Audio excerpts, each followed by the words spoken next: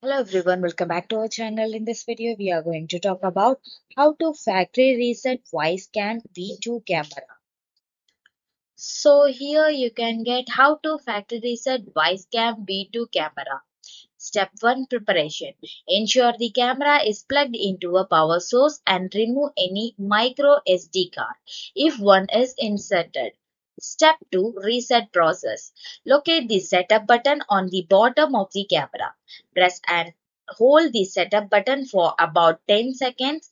Then you will need to keep holding it until you see a change in a LED status light.